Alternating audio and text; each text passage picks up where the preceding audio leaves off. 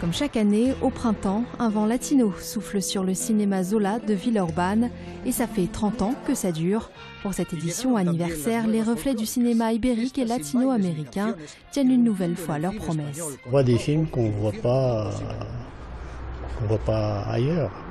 Cette année encore, 39 longs métrages sont présentés, parfois même en présence des réalisateurs. Expos, documentaires et musique viennent rythmer ces reflets.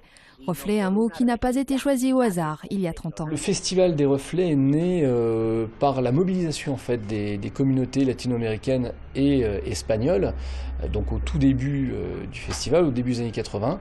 Euh, la mobilisation par la volonté surtout de montrer les productions de leur pays d'origine. La programmation est sur le site lesreflets-cinéma.com et c'est jusqu'au 2 avril.